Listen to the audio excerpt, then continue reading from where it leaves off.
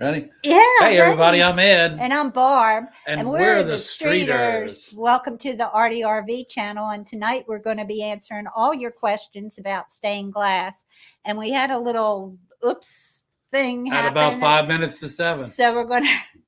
We're going to have to wait for people to find us, and I'm going to have to, you know, So keep we'll our kind of fingers crossed. yeah, we'll talk a little bit before we start answering some questions that came in, uh, you know, during the week from some some some subscribers and some not subscribers that we hope will subscribe to our channel. So while you have a minute, and if you're just tuning in, and you haven't subscribed, please go ahead and subscribe to the ARTyRV channel. Also, remember thumbs up because the thumb is the favorite finger for us.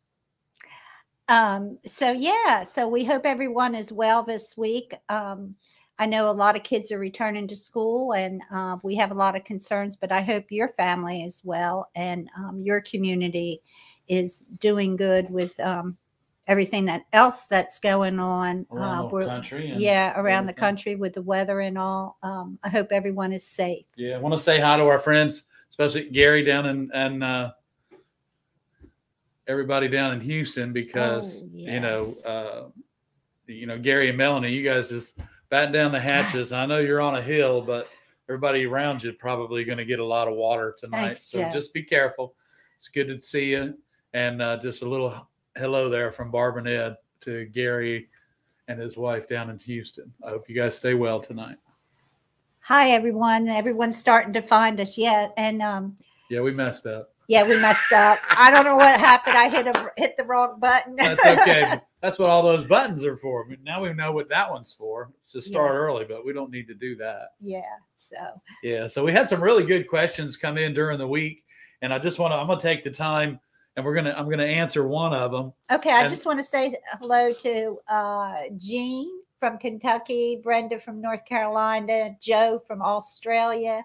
Um, Hey, so guys. far, those are the people that have checked in. Yeah, Thank you it's good so to see much. It's good so to see uh, you. Our, our first question was what, and uh, and I think I know we have a video on this, and I believe it's called Frame It, but they wanted to know what kind of wood that we use because we're always talking about framing our windows for our customers. Well, I, I have a piece of it right here. I'm going to show you the profile of it so you can see it. Now, there's a 3 8 rabbet all the way down the center of the wood, 3 eighths of an inch deep.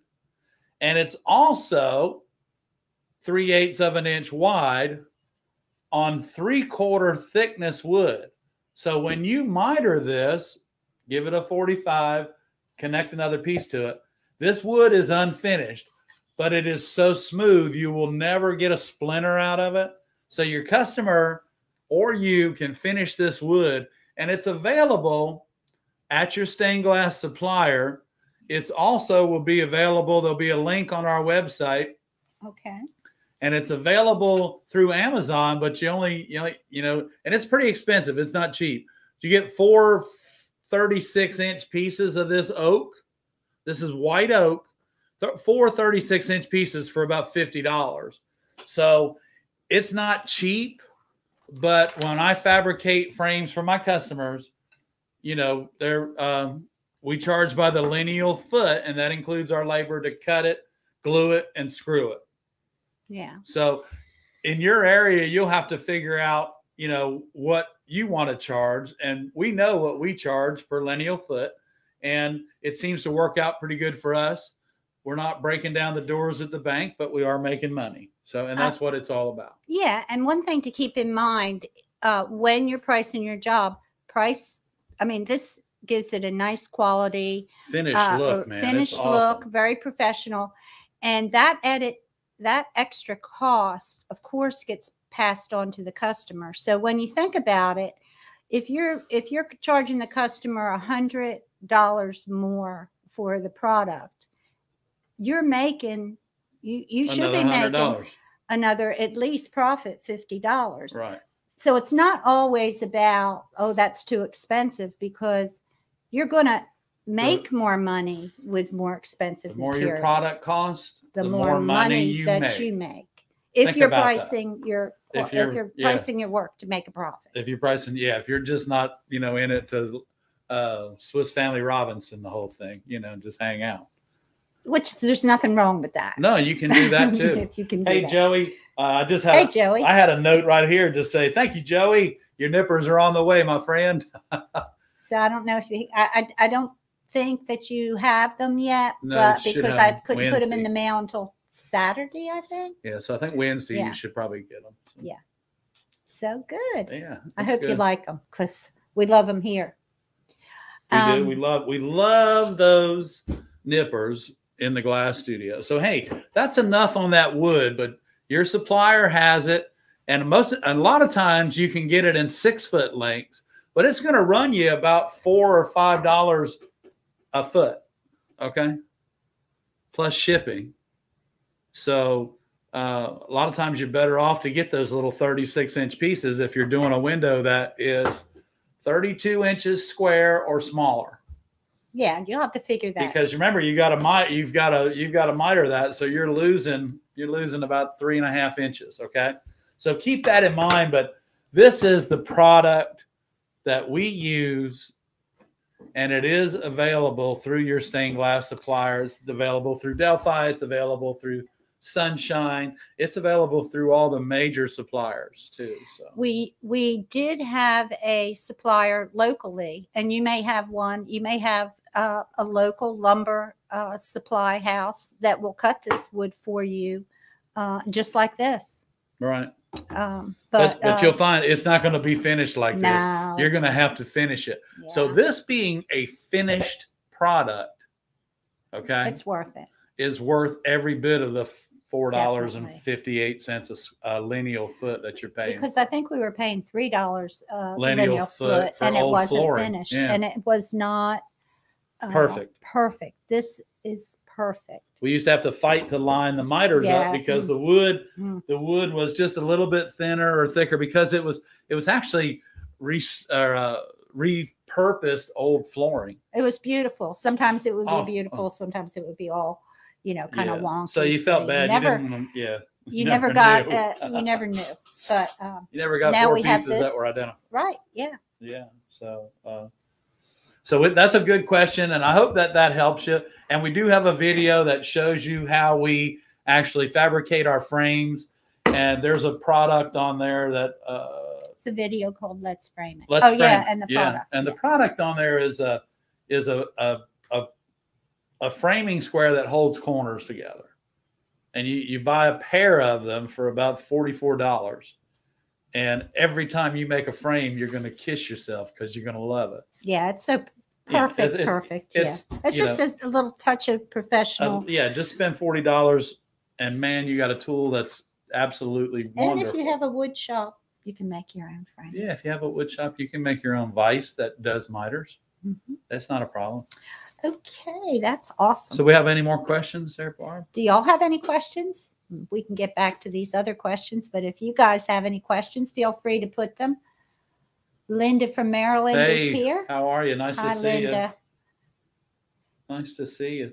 Yeah, so just put your questions in the comments. Um, one question you they had is what kind of solder do you use? Um, and we've answered that question before, but if you just, uh, I don't know. Yeah, who- we'll just kind of again. Some of these questions come from people that are just new to the channel and are trying us out, and we thank you. We welcome you to our channel, and we welcome you to ask questions right. because that's what we're here for. We're here to help you get to the bottom of your questions to help you move forward within this beautiful process that we call making glass. So anyway, the the solders that I, I like to use two kinds, not mix them up, but only two kinds when one is not available from the other. So my first pick is always a little more expensive, but it's Canfield solder, and I use 50-50. Canfield solder 50-50, absolutely no trash, no nothing in it, and it's beautiful solder. My other choice is Victory White Metals. Uh, you'll notice it. It may be at your supplier under uh, VWM, or but Victory White Metals is another solder that I use that's available. It's only about eighteen dollars a pound, as where Canfield's like nineteen a pound. So you know what? If you're buying 25 or 30 pounds and you can save 25 or 30 dollars, I prefer to go with the Victory White Metal. Yeah. Okay. Because it's significant. If you only buy one pound and you want to save a dollar, that would be up to you. Okay. But if you're buying a lot of solder and you can save a dollar per pound, Adds up. that it adds up pretty quick. So anyway, our choice, our studio choice is Canfield and Mhm. Victory White Metals, and we'll also have a link on that on our website to get you over to Amazon, uh, where the prices for the Canfield are eighteen ninety five a pound, and the Victory White Metals are seventeen ninety five a pound. Now is that that's a pretty good price? I That's mean, really good price because I'm paying eighteen dollars a pound plus shipping. And I also noticed that on the website on uh, uh, Amazon, they had a five pound special. I, they didn't show the price, but a five pound special. Y'all, let me tell I'll you put something. those links up. They'll be up in the morning. Yeah, so the the five pound special. Let me for this the Or you can Live Oak project. You know, we're using twenty five pounds of solder on this project. So when you think about it, hey, if you can get a five pound deal, go for it. You know, so it's on there as well. Um, Patsy wanted to know who do you mostly use as a glass supplier? First, Well- first we uh, go to Sunshine Yeah, and uh, Sunshine Glassworks. They're a distributor. for just yeah for like uh, small stuff, not unusual stuff, but stuff we use for repairs and stuff. Mhm. and Um, uh, so sunshine glass and only because you know we have a rapport with with uh, scott and sean uh, for over 30 years and so you know when we call they know who we are uh, we've been a customer for a long time and we find that when we send them samples of glass to match for us that they they're actually really, really good. they really are good with it now, also Mount Airy. well palmetto mirror I and mean, art Pal- glass Palmetto Mirror and Art Glass. Yeah. Why did I say Mount Airy? because that's what it used to be Oh, okay. Palmetto Mirror, Mirror and, and Art Art Glass Glass. in Greer, South Carolina.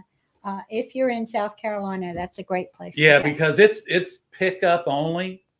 Um, but for unusual glasses, glasses that are no longer made, there's um I would venture to say thousands of square feet, Barb. yeah, Yeah. Yeah.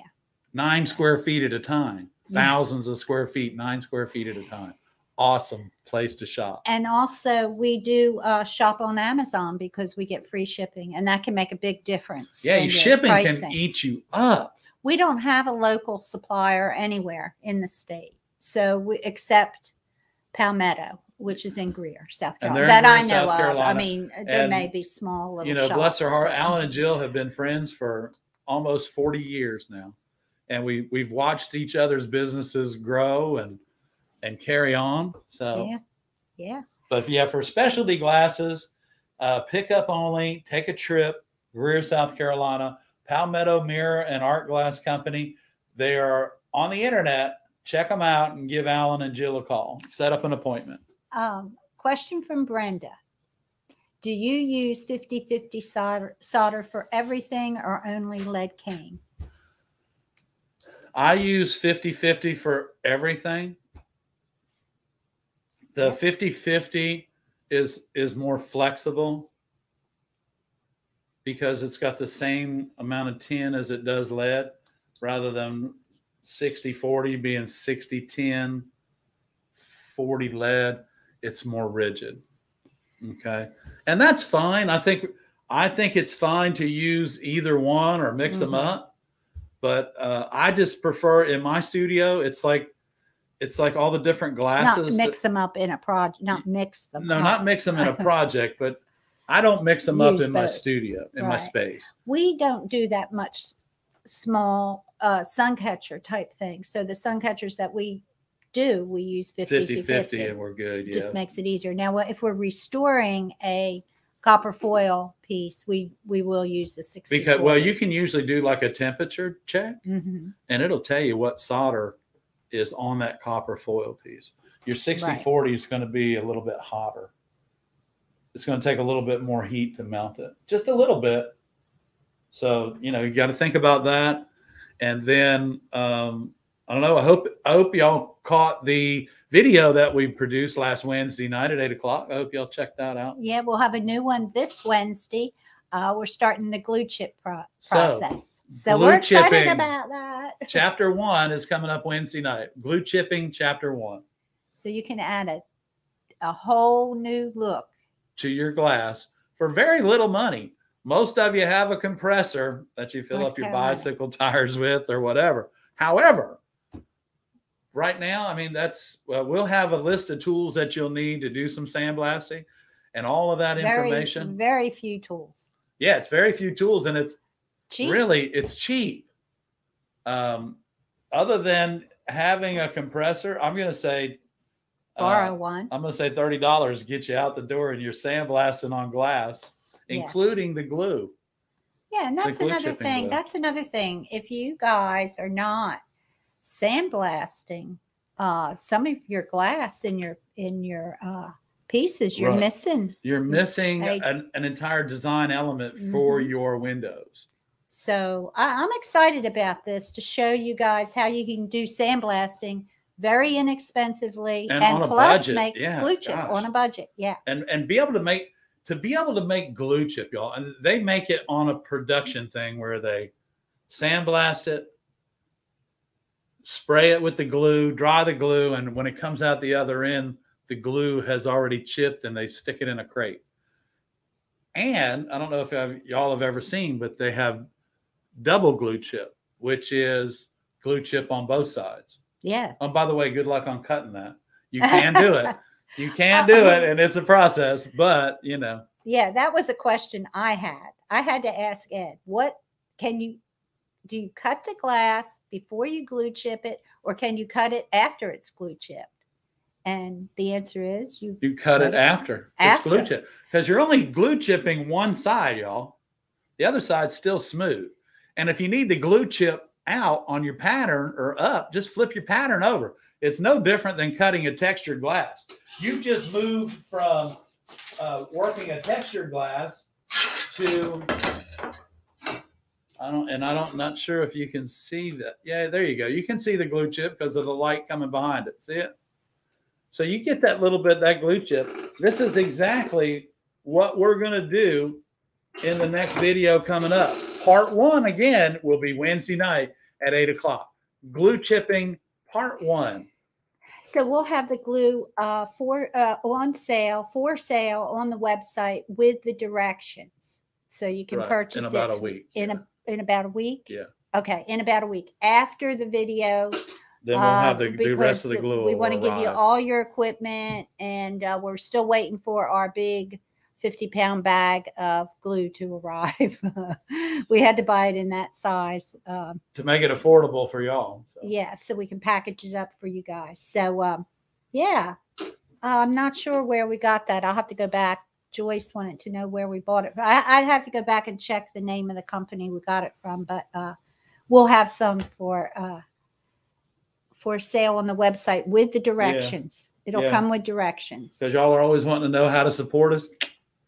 Go to our website and go oh, shopping. Oh, let me say we will have that for sale. we will, have that for sale have it for sale. in one pound bags. Oh. They'll be in one pound bags, which is a In lot of glue, one y'all, Pound bags with direction. with directions. And I guess it's on its way. I mean, the big thing. Because the little ones are too expensive. Okay. All right. Yeah, the little one pound yeah, because be so because we got the 50 pound bag of it. The the one make it affordable for you. yeah, the the one pound things are going to be about about twelve dollars, so fourteen dollars. But you got to remember, then there's going to be a little bit of shipping involved in there. So We haven't figured out the pricing yet. That's why we didn't. We really yeah, don't know. we'll try to include the make it very in the price. affordable. Yeah. Uh, okay. So um, yeah, so we're excited about that. I mean, this Yeah. is this video is uh, I hadn't glue fun. The chipped whole in. process is 20 years, I don't know why we haven't thought of it earlier. I haven't glue chipped in 25 years. 20 used years. to, yeah, we used to have so much fun doing Well, that. we used to do signage for for Yeah, customers. Yeah, signage know? is amazing. Okay, I wish I could find some pictures of some of the signage that we've done before. I always wanted to do a Coca Cola sign with you know mirror in the back and then do the glue. And that's chip. the other thing. Guess what, y'all? You can glue chip mirror, oh, that would be fun, right? okay? But you can't cut mirror from the back side. So you have to Mm. glue chip. If you just want like four corners of mirror, you can glue chip four corners. That'd be cool, right? So you don't have to cut it, you know, you don't have to cut it. Okay, so if I wanted to do, ooh, if I wanted to do like Coca Cola, Ooh. What? I would mat my Coca Cola, and then I'd glue chip the Everywhere mirror. I'd. I'd cut my mirror to the size, right. and then I'd You mat, Mat thing something that says sister or something. and that sister, just whatever, just It's mat just it. a- and then glue chip it, Well, and have then to you have a sandblast it, and then Oh, you yeah, have to mat it, Okay. glue chip it, and sandblast it. Okay, that's enough of that. I'm getting excited. Too I am too. Okay. And we are going to make this is this is you red flash glass. I don't know. Yeah, you can see it. If you hear that squeakiness, that's It's just my chair. I so we're going to do four corners of this for a specific window, and we're just going to cut five flower petals in each corner, and we're going to sandblast around them, and we'll glue chip around them so that the petals stay red. It's going to be awesome. Okay. Um, I had a question about um, projectors. I know I like that one because, you know, we bought a That's projector his favorite. 36 years ago, and we still have it, and we will, you know, we'll use it every now and then. But yes, you can produce Big work. from a small pattern, like two inches square, with a projector, and trace it onto your pattern Big. big. And it's, y'all, it's better than making copies of everything and trying to stick it together because when you shoot it on the wall, all you're doing is enlarging it. You're not changing it like you are when you have those patterns and you have to print them out and tape them together. Totally different way of doing your artwork, much easier and a lot more fun, I think, and really more economical. Yeah, but you know, people like to use the computer because they can move things around. Well, this is true, Barb, and I understand that. And- but, you know what? You're computer literate, and I'm computer Not in that way. I, I do not know digital design Oh, or okay. CAD or or Well, and neither do I. But. I know So- projector. I speak projector. okay. Okay, and there are some things. You know, I mean, there's a lot of things that I can draw, but there are some things that I, it just a certain specific part of it drive me crazy, Right. and it's so much easier. We've used the projector over the years, and we find it to be the quickest way to get our sketch onto a large pattern. And it's Now, no, if, you, if sorry to No, interrupt, that's okay. but if you're, ha- I'm not talking about the grid work part of the pattern. That's you easy. you do that by you you do that yourself. But I'm talking about the does you know a bird or a um, pictorial design, yeah, or uh, um, E- even a logo. If you get the dimensions, Yeah, right. if you get the dimensions right, you the the logo or lettering is easy to do. Okay. Mhm. Even if you took the time to draw what you want small and then shoot it on the wall. Draw it small and shoot it on the wall.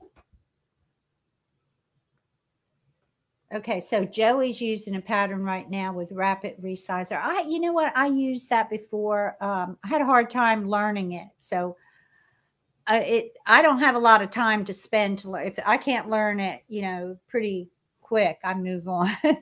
Yeah. but uh, it took. He said it took uh, eight sheets, and it was not easy to get the two copies exactly the same right. You won't you won't ever, Joey, with a You won't ever- you, You, won't will ever get those lines to line up. You can hang it up. It No. just you just you just can't do it. However, if you take that small pattern, and they make a they have a projector. It's about $180, and it's called the Tracer. It's a small projector. We've got one that we we spent $300 on it 30 years ago.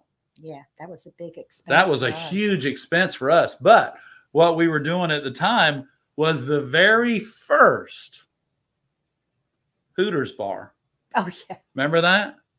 We etched inside the bar remember all the way around every state in Australia. And We did. You'll love it. Australian You'll love it. Here?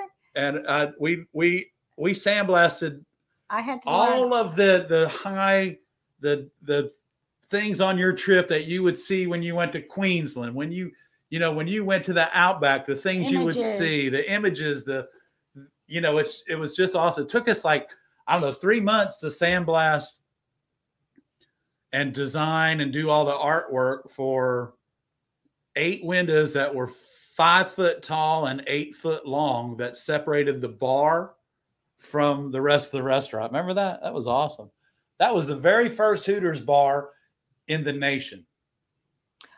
Yeah, it was a fun job, and we we got paid very well. we and did, and we worked for uh, Mr. Brooks, who's no longer yeah, alive. and he was such know. a great person. Same to way work. with John. Yeah, they were Neither great one to of 'em work are alive. for. Yeah, it was it was. A, This was, oh gosh, like I said, it was the very first Hooters bar. and the fun thing about a projector is you can. Well, let me just say, once it's in place, do not move it. Just do all your drawing. Do not move your projector. Yeah. That's one thing. But you feel like you are really achieving some. I mean, you you really. well, you are. You're looking like- at you're looking at a line on the wall on a piece of paper bar. yeah. But then guess what? Now you You have a have pencil pro- in your hand. yeah immediate gratification You don't have to trace that.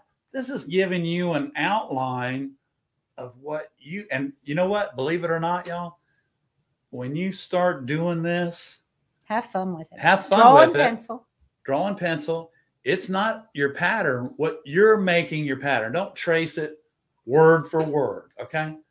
Have fun. And you know what you're also doing now?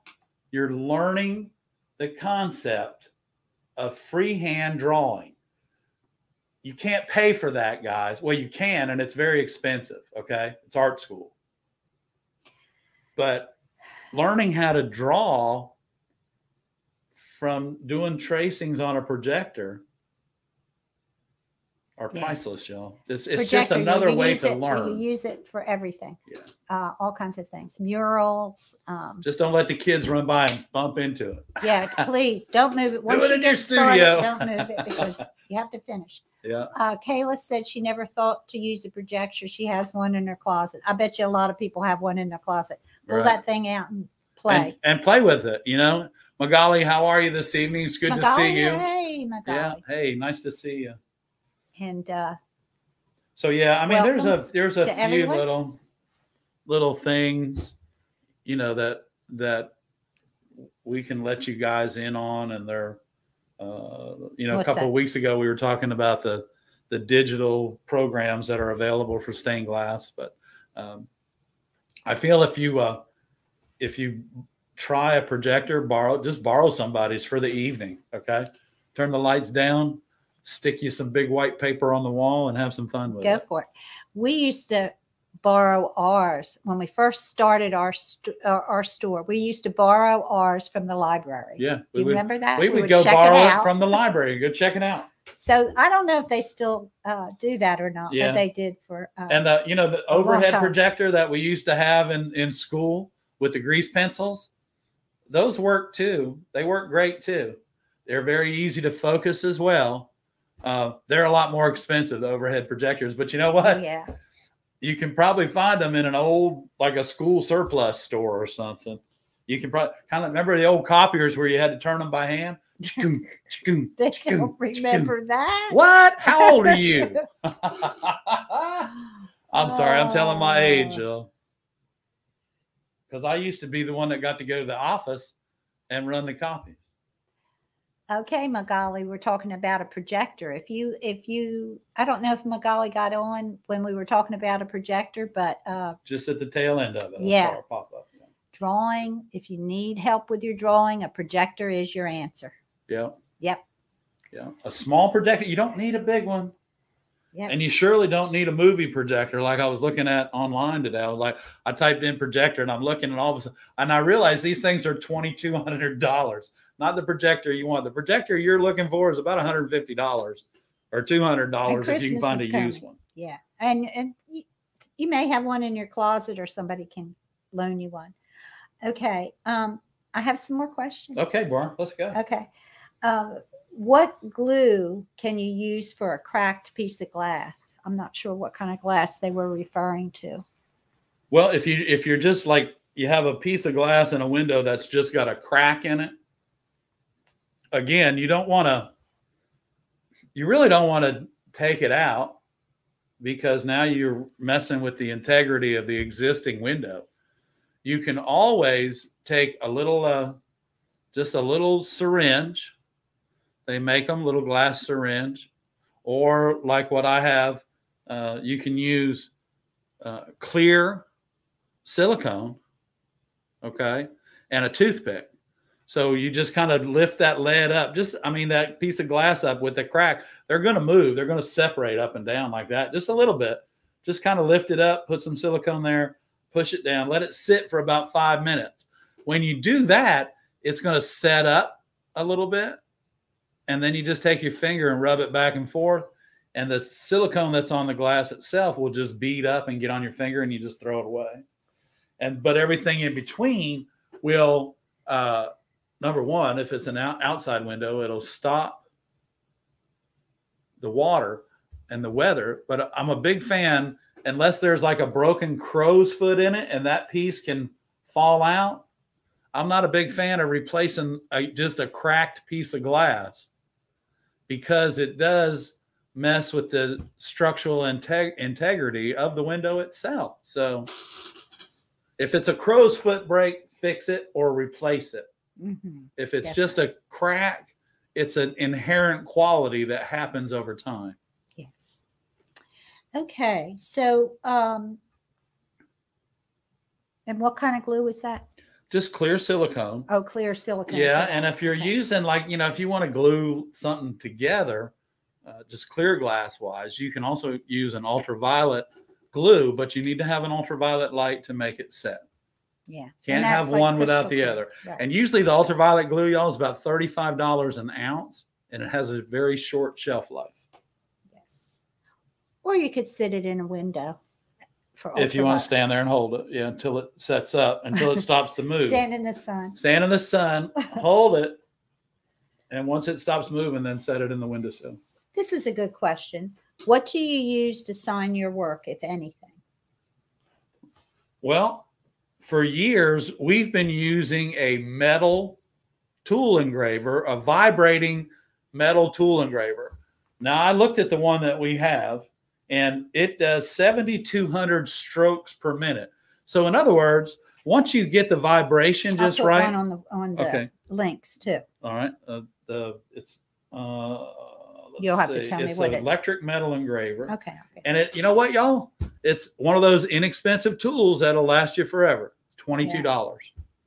We've had ours forever. So We've had ours, yeah. I read something interesting today about engraving your piece. And that's funny that they asked that question, and I didn't even know that question came up. But um, the old time bevelers used to always put their initials in, in their windows, especially if they did the whole entire window. This is the old time bevelers that would do the whole entire window, bevel it, put it together, and everything. They would put their initials in the lower right hand corner. That was the tradition And they would engrave it. they would engrave it with a glass engraver. Okay. And they stopped doing that when they started selling windows out of the catalogs. Oh, okay. Well, you know, you can uh, you can use this engraver not just to, so it's not just for glass. You can use it. You can engrave your tools, Mm, handles on your tools, your TV. your TV. You, you can engrave anything. And if somebody decides they want to pick it up and they need it worse than you do, it's engraved. Your initials are on it. Did we ever tell them that tip about the old timers, uh, the gla- what they used to do with their cutter to keep the oil on their cutter?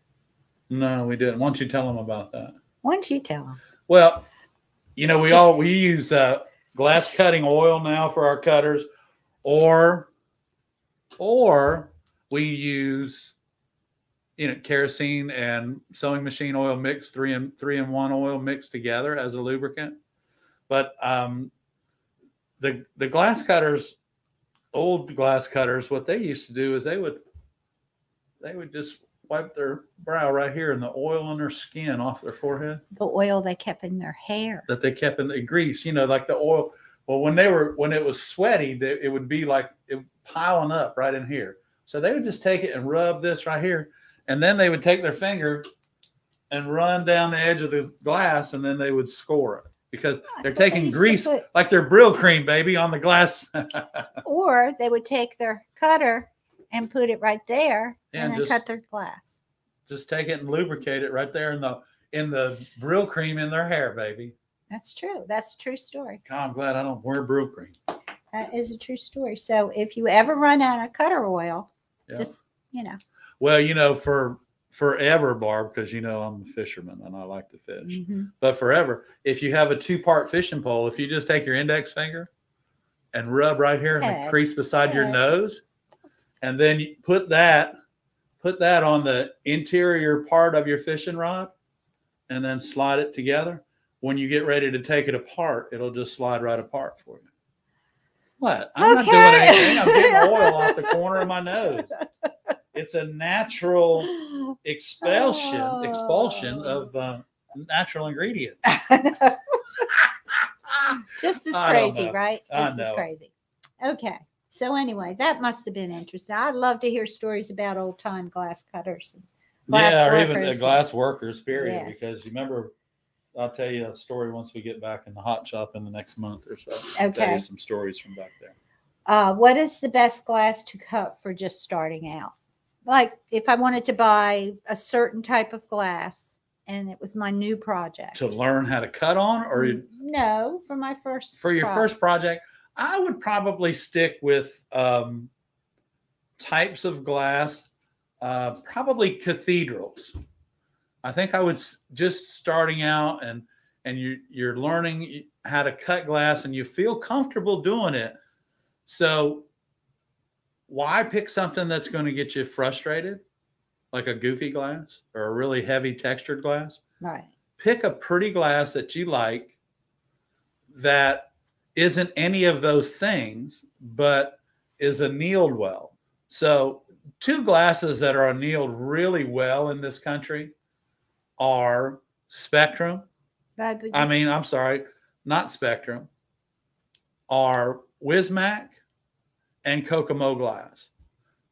So, just don't get the textured glass. don't get the textured glasses yet wait till you and if you if you're just starting out and you want to practice and not pay $10 a square foot for colored glass get window glass until you feel comfortable purchasing some scrap to learn because let me tell you when you go from when you go from window glass or clear eighth inch window pane glass that is very it's a soft glass and it's very easy to learn how to cut glass on Mhm. and it will build your confidence however when you leave that area that clear area and go to color everything changes so make sure unless you have an unlimited budget that you're very comfortable cutting the clear glass before you switch over to cutting colored glass from any manufacturer not just the easy ones and ask for one eighth inch clear glass. Uh, I had a, a student that was having problems. She said her glass was so thin. And there is another kind of window glass that they could sell you that's a little bit thinner than and then there's a and then there's a really thin one that they put in picture frames from overseas yeah. So you if you can't cut them yeah, so that's not going to work for you. Make sure it's one eighth inch window pane glass window pane glass. It's called DSB. Yeah. DSB. That's what you need. double strength Double strength, not single strength. Yeah. Single Double. strength is only 330 seconds of an inch thick, and you're going to have problems cutting that. Okay, question. Ray wants to know the purpose of the oil in the cutter. And we don't put oil in our cutter. Not put, anymore. Put it on the just a little bit. Yeah, I, I use oil more than anything drops. when I'm in the back cutting thicker glass. However, once you're you use oil in your glass cutter while it's new. After a month or so of using it, Mhm. And the oil that you did the two little drops you put in there run out, you don't need any more oil. What you Okay. need to do is in that month period while it was running out is you needed to learn how to use your glass cutter. That's what you had to do.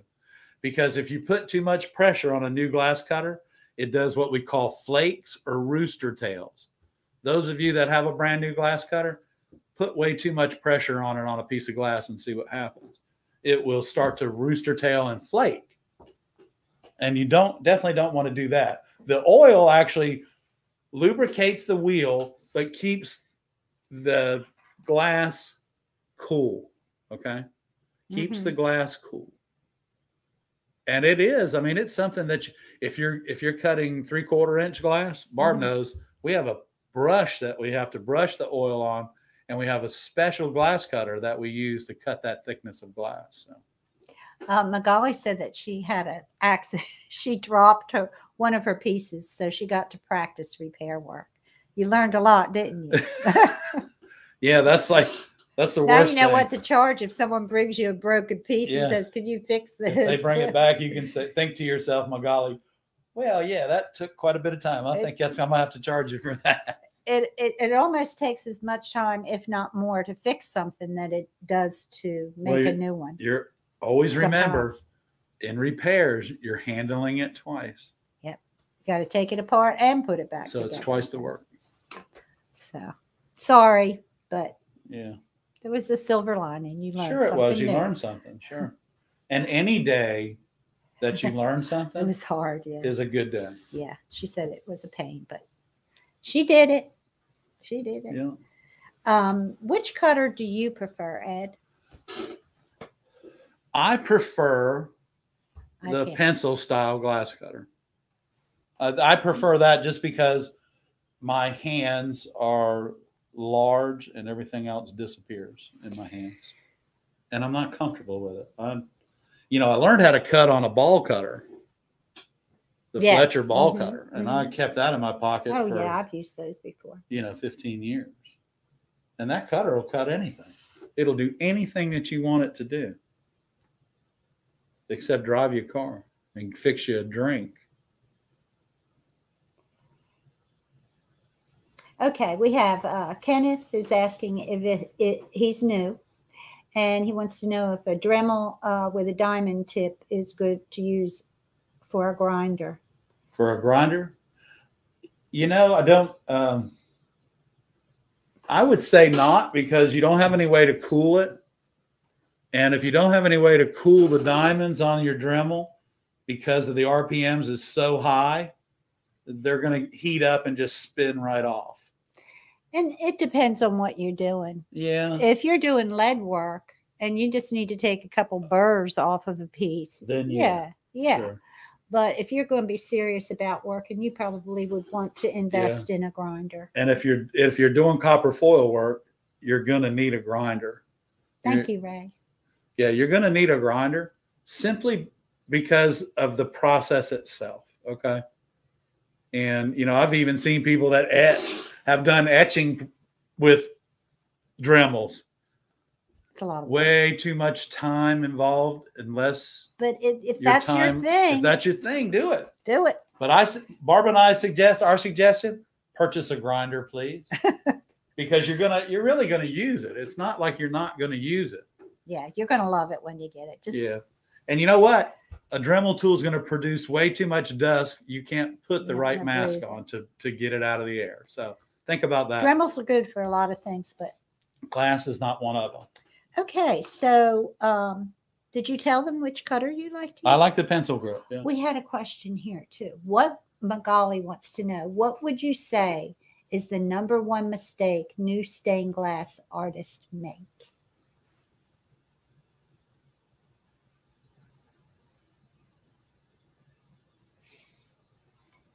You're welcome, Kenneth. You know, I think it would probably be not spending enough time learning how to cut your glass before you start a project. Too much time at the grinder. Too much time at the grinder. Yeah, that's a big mistake, really.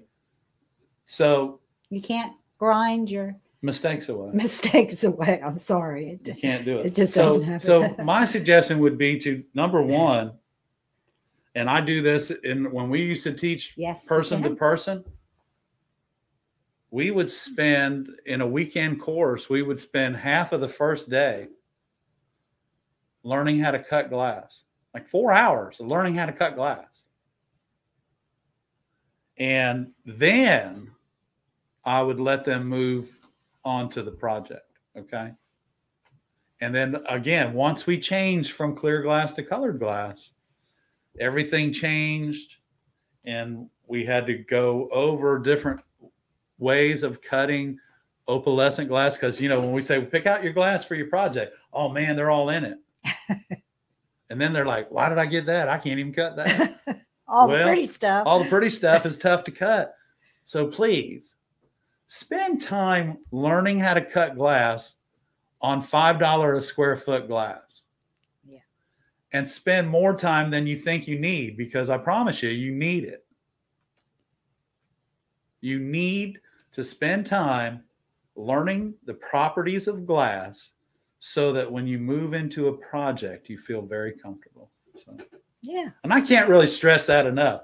If you can't, you know, you can teach anybody to put it together, but if you can't cut it, you can't move to the next step. Okay. Sorry, but I'm very passionate about learning how to cut glass. He loves to teach. He loves to teach. Okay, so um that's uh the a lot of the questions I had. Did you have some more? I mean, I know that some came in several different ways.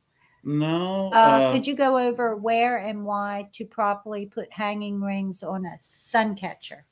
Yes, please go over that. Magali wants to know where and why. First, yeah, let him do a little drawing Hang on a second, okay? That's the easiest way. On a small sun catcher.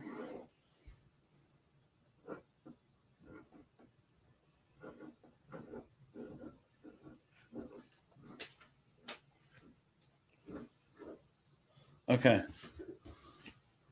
All right, Magali, this is a small sun catcher. Okay, I'll answer. It's got a little borders around it. I skipped over a question. We'll get right to you, Kayla. I'm sorry. So uh, where you're going to put your hangers on this particular sun catcher You is can't right see it, here and sweetie. right here. Can you see it? No, no, you can't. You need a you need a uh, sharpie. Let me Yeah. go get a sharpie. I'll be right back. Hang on. I have You got one? No, I got- don't. I got a lot of them. Hang The on. whole idea about hanging things, Magali, is that you don't want to. You want to make sure that your your pre-tinned wire goes down into the joint, because when you're hanging it, you you don't want it just pulling on the top. You want it pulling on that that entire piece of solder all the way down in the window. So this this little thing here, you should be able to see it. Okay, so what I did is I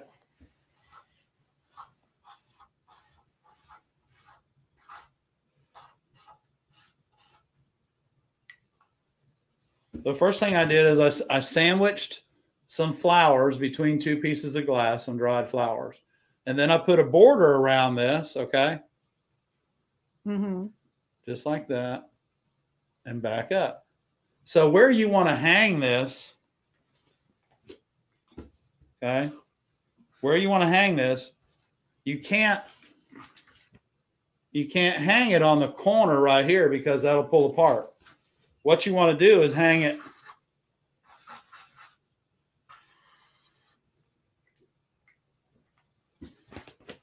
you want to hang it right here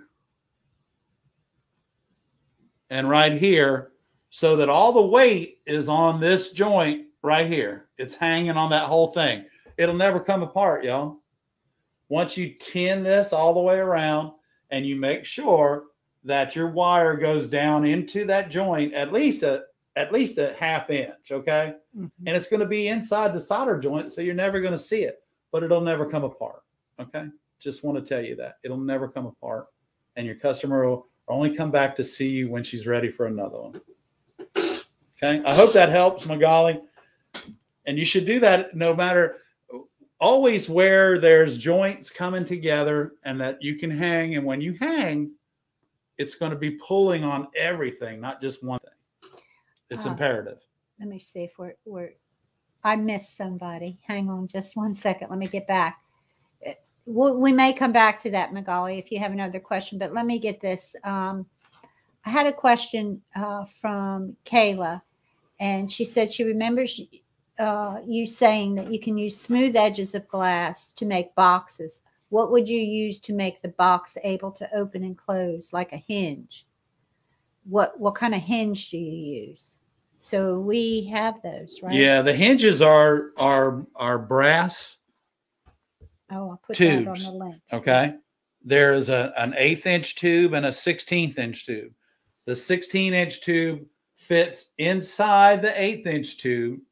And then there's a specific way that you do apply hinges to your work. And also, you have to design the lid. Okay. You have to design the lid so that the eighth inch part of the hinge isn't just holding on to the edge of the copper foil. You have to have some kind of a joint going back to it. And I'll see if I can draw another picture. Um, And I'll put a link in the description. So what I'm going to do here is going to do a a leaf right here, and we're going to do a another leaf right here. All right. So now we have this is our jewelry box lid. Okay, it has two leaves in it. This is the bottom. This is the bottom. You see where these leaves come in on the bottom? Right there is where my hinges are going. My hinges are going right here, just like that.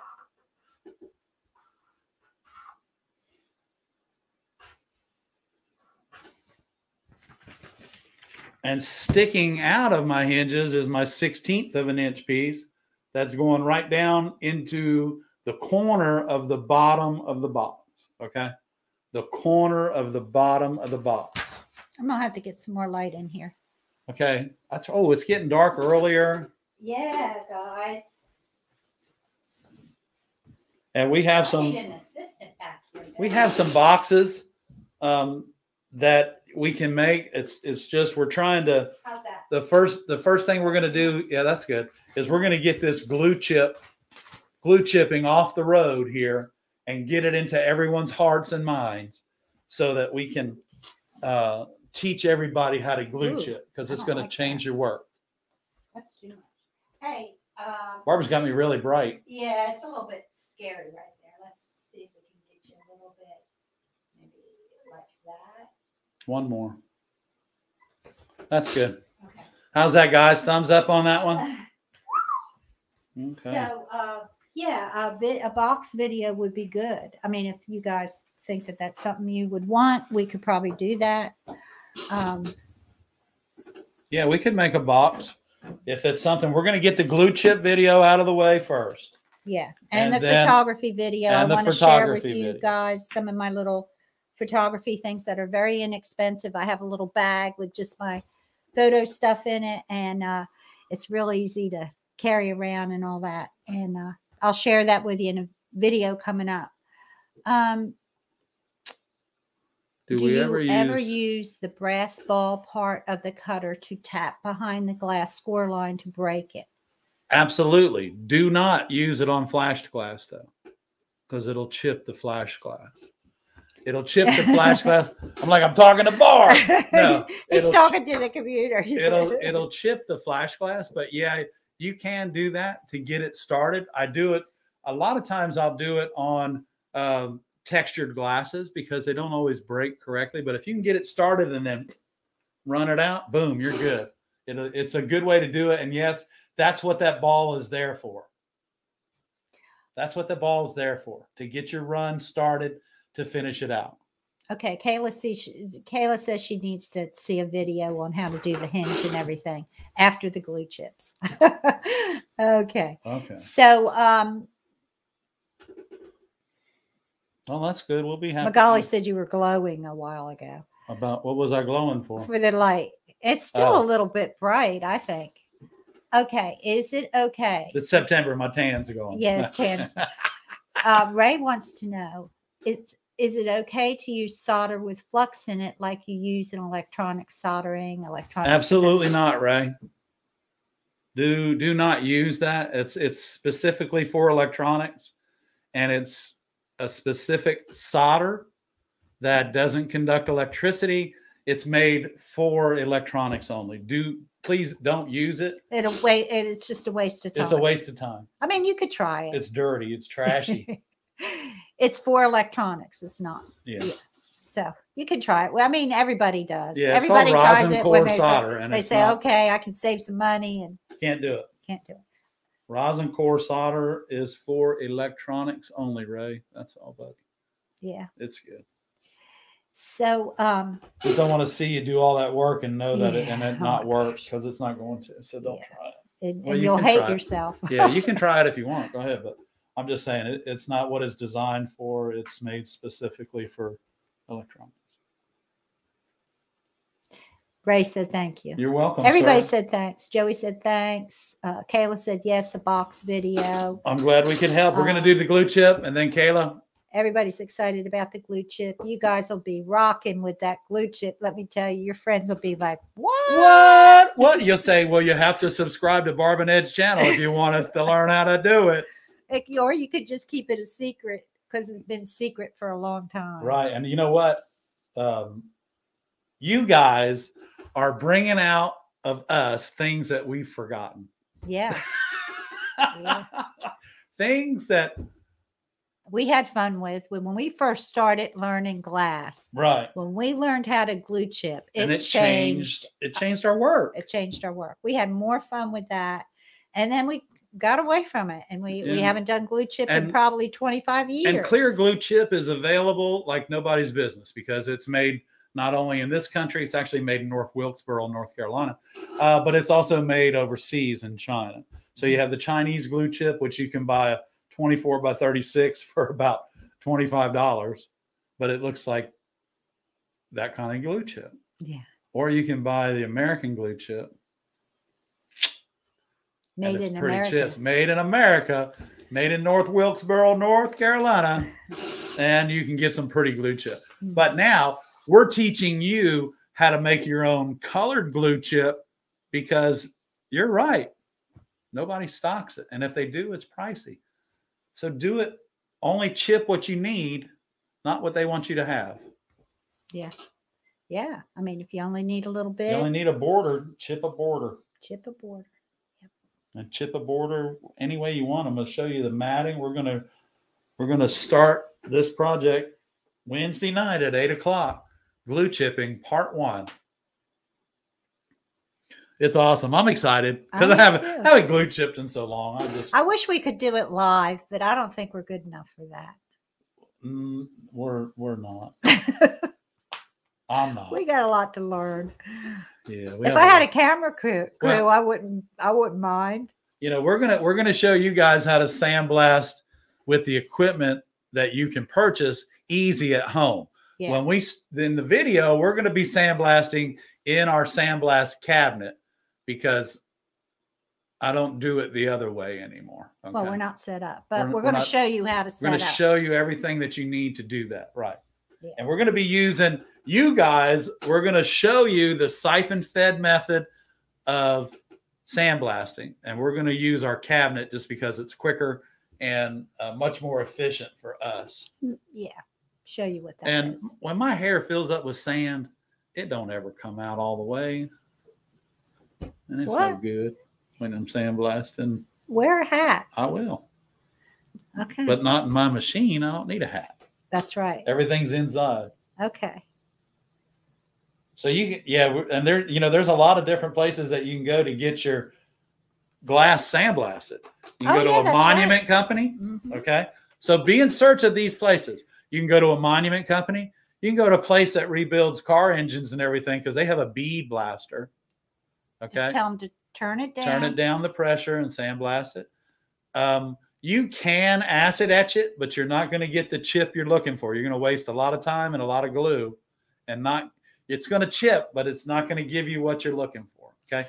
It's not going to give you that frost on my windshield early in the morning look. And that's what you want. Now you can sandblast if you have a compressor though. If you've got a compressor, Yeah, you can sandblast, use a siphon fed machine, which we're going to show you. And you can use just go to Lowe's or any of your home stores and get a bag of play sand and you can sandblast your glass. Little $4 bag of sand and some compressed air, and you're on your way to chipping glue, glue chipping glass. yeah. So we'll we'll have all that together by Wednesday. Yeah. And again, it's only part one. It's Yeah, it's probably a four one. part series. It's quite drawn out. That's why I don't think we could do it live for you because Oh, that's it's right, going to yeah. take two or three days once we cook the glue. and It's put like it on the watching glass. paint dry after we pour Yeah, it. we're just going to let it. We're just going to let it dry in the back where I'll the humidity's, eh, eh, eh. and then once it's dry to the touch, we're going to put it outside, and then we're going to time lapse the the shooting of the glue. Maybe maybe. I don't know. Barbara's camera. I can't leave my camera outside for a long time. Yeah. Okay, we'll see what happens. We'll see what happens. We may get a few. Can you use beach sand? No, I don't No. think so. It's got rocks in it. Well, and it's got too much. Yeah, you don't want to do that.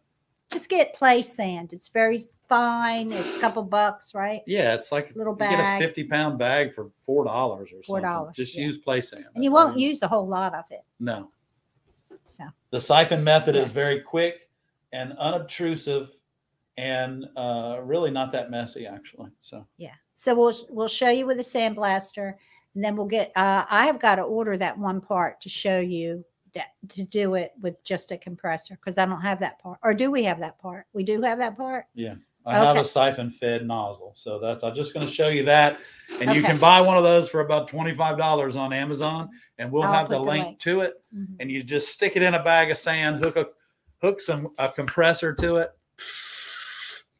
Five minutes, you're ready to start cooking glue, baby. Okay. Okay. Any other questions? I don't see. This any. is probably a silly question, That's but it. okay. Can you use beach sand? oh yeah, no. I I know in Myrtle Beach they pay a lot of money to refurbish the sand, and I don't think they'd want you taking it home to use on your glue chip project. And it's not really the right kind of sand. It's not the right kind of sand. Yeah, well, it it's got it's coarse. It's too coarse. you know and we were back when when barbara and i were doing pottery uh, we used to use this clay that came out of the ground when we when we put the water and sewer line in and the sewer was like 15 feet down so we had the guys dump a dump truck full of this organic clay in the back by the pottery studio and it had so much organic material in it it was great and it we had to pull like tree pieces out of it. But when we fired it, it turned orange. Remember that bar? Mhm. It had so much organic material in it, and it was it was this clay was thousands of years old. You it- know? yeah, it's probably what the Indians used. Yeah, gumbo. It was blue gumbo clay. It was beautiful. I thought it was okay. And but but when you fired it, it turned orange. Yeah, Yeah. it was crazy, and it was rocky. It had a lot of rocks. It had a lot of so it was hard to organic clean. material. You had to you had to clean it, and then you could work it. So it was kind of labor intensive to use it. even but you though it was could. free. It was free. But it was labor intensive. So really, technically, it wasn't free. It cost a lot of money to operate that, right? uh, Magali says uh, pottery too. Well, our son um, majored in uh, studio arts, and he was a potter for for several years. And we shared a studio with him. He operated our glass and pottery studio, and uh, we did that for about five years here Yeah. in Conway. Yes, Yeah, we and were. it was our son who was actually the potter. Yeah, and he's a and he's a very he's a very good potter, and uh, he used to uh, He actually used to manage the gallery at Clemson University while he was going to school there and picking up on his bachelor's degree in ceramics. So Yeah, really talented. And uh, yeah, so he's all grown up now. yeah, he is, and we're very proud of him. So in case you're watching tonight, In case Dennis, you're we are proud of you. See you. Don't forget to call your mother. Call me sometime. Yeah, call your mom sometime. And Trisha, if you're watching, hi. I have a daughter. We have a daughter. Yeah, and a hi son, Trisha. But I doubt they're watching. They're not interested in their watching us. No. We're too old Well, Okay. and you know, they're doing things the right way. with their with their family. That's right. So, um, any more questions? Taking care of our grandchildren. Thank you guys. Any more questions? We might have to leave if we don't have any questions. It's okay. We've Uh, answered me quite a if I lot can- tonight. I hope everybody We have answered a lot of questions. and I'd really hope that everyone's health is good and everyone's family is safe and um, you know things are yeah. things are kind of looking up. Thanksgiving is right around the corner. We are finally starting on Windows 11 and 12 on the Oak Tree project, and Barbara's going to be finishing the birds this week for us. Question. Ray wants to know: Can you use walnut shells to blast like they do in repair shops? You bet you can. Okay. Sure. Sorry, Ray. I missed your question. I'm sorry.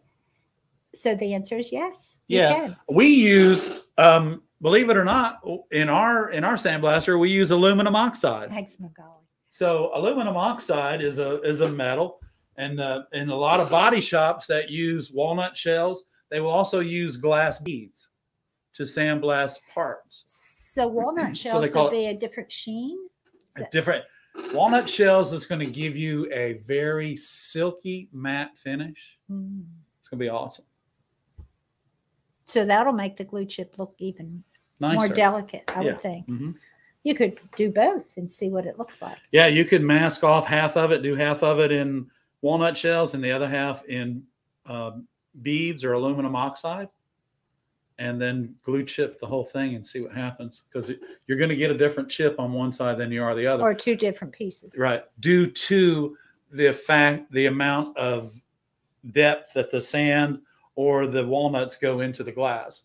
You wouldn't think walnuts would be rough, but you put enough air pressure behind it and small enough pieces, yeah, it's going to eat it up. But be careful that you don't blow the glass out. Usually, I, I run off of about 100 pounds of air in my when I'm using aluminum oxide, and that seems to work pretty good. My my grit, my aluminum oxide grit, is 180, and uh, so I use a 180 grit to sandblast with aluminum oxide. Yep. I have a lot of stuff to remember, don't I? Yeah, you do. You remember everything. You're good. You're good at that. You got a good memory. When For now. today, Today. okay. So, uh, any other questions? Have I missed any questions? If I missed a question, uh, please go ahead and let me know, and I will be happy to jump on here and answer anything, or have Ed answer. a- Or another- Barb can answer it. or you can. She has, Barbara has as much knowledge of this industry as I do.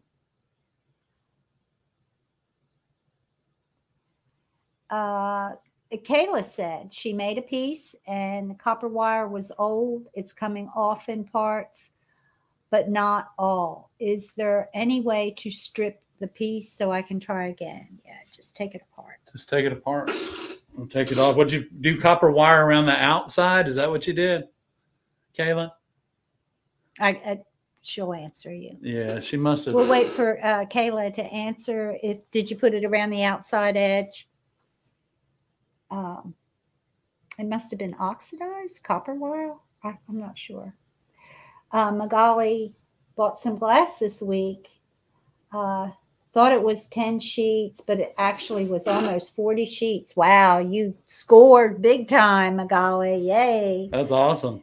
Okay, Kayla said yes, it's around the outside. Yeah, I would just just take take it all off around the outside, clean it real good with acetone, and get the old glue from the copper foil off of it.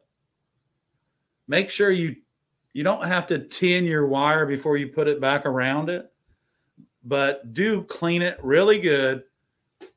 Refoil the, outside edges and then put your wire back around it and it should be fine. It sounds like something was oxidized or something, Kayla. Yeah. And oxidation will, man, that'll Ruin it. make you upset. Yeah. I meant copper foil, not wa- not wire. She meant she her copper foil was old. Okay. And It wasn't sticking. It wasn't and it could be your glass wasn't cleaned really good or ground correctly. Yeah. And not trying that. to tell you how to do your job. But if you're if you're But you actually are. well, I am kind of. But I'm It's telling okay. you in a nice way, Kayla. yeah, is. Sometimes um in order for your copper foil to stick completely and you don't realize it, but there may be some just some sand or grit from the grinder still on the glass where it's ground. So I prefer when I grind on my glass to put it in a little tray with alcohol in it and take each piece out and clean it one at a time, Paper towel. paper mm-hmm. towel, and it's a pain in the neck. But But it's clean. but it's clean and I don't ever have any trouble with my foil sticking. The other thing is the oil from your hand. the oil from your hands, you, you have to make sure you you only work with the sides of the glass. You can't be touching the the ground part of the glass because that oil from your skin keeps your skin nice and soft, but it doesn't allow your copper foil to stick to the glass. Yeah, people don't realize. They that. don't realize it. If you touch it, I mean, it doesn't take but a second. Like right now, I got oil on my hands. Let me get my cutter working right. Right. Okay. Christy from Fayetteville. Hey, hey Christy. Christy. How's your uh, kiln?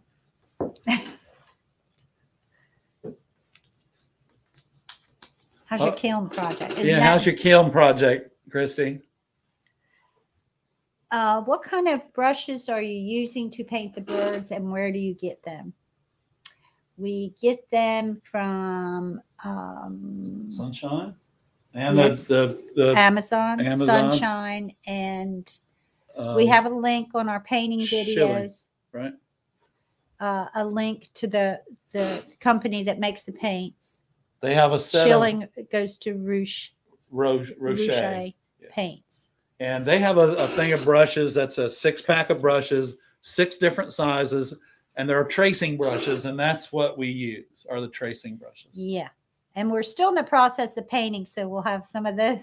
Yeah, it's trying to get. We've got bits and pieces for videos, but we don't have them all together at one time. So we're trying to release one a Well, y'all one a week. But keep in mind, we still work fifty hours a week too. Yeah, this isn't our full time job. As much as we'd love for this to be our full time job, we also uh, have other things we we do during the week.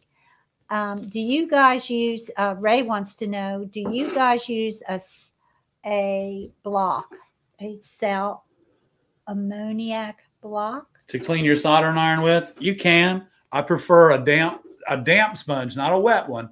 I prefer a damp sponge. And that's it. That ammonia block smokes too much for Ed here. I don't do that. I just use a damp sponge, wipe it off, Real quick. turn it off. When you're done with it, wipe it one, two, and turn your wattage controller off and allow your iron to cool. The the ammonia, the solium block, I you know, it's just not me. I'm sorry. You can use it, but I don't do fumes, and that is definitely something that fumes when you when you're cleaning your iron off. It's much easier to use just a damp sponge. Those of you that are interest, interested in the painting on glass, we do with our videos. There, uh, in the description section of the painting videos, there is a link to the uh, the section in the SGAA book, Oh, chapter 13. yeah. chapter thirteen. You can buy that chapter thirteen on um, Amazon. yeah on Amazon. And then the links to all the products are in the description on those videos. Right. So, So they've taken the the Stained Glass Artists Association of America they've you know they printed that really nice book. That book is available on our website too, but it's nine hundred and some odd dollars. However, they've taken like four or five chapters out of the book that are very concerning to everyone Yeah. and uh, have printed them out and are for sale. So, chapter 13 is all about painting. Chapter 15 is all about reinforcing. There's a whole chapter that you can purchase. It's all about lighting and how to light up your how to light up your your windows and how to do it in a way that just knocks your people your customer socks off. So, Okay. So Kayla wants to know if we were both stained glass artists before we met, or did uh, we find the love for the craft together? Long story short. long story short, we found it together and uh, I was the only one that was doing glass when we met. But my ancestors were glass workers, Barbara's ancestors were glass workers. but I never knew knew Never those. knew about. We only found all of this out after we had been together for a while. Yeah. So it's a long romantic. It's a very Story. long romantic story. It's awesome. Okay.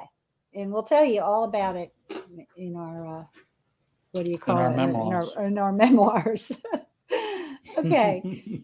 do you use a tip tinner on your solder? I do not. What is a tip tinner? Yeah, I didn't even know they made one. I have been tinning my own tips forever. Okay. I don't know what that is, but uh we tin our own tips. When it needs it, but you know what? You We're should old school. you should never you should never have your iron hot enough that the tinning comes off of it anyway. No. If you do, you're not using a wattage controller, and if you are, you're using it way too hot. yeah. Turn That- it down. Your tinning should never come off your tip.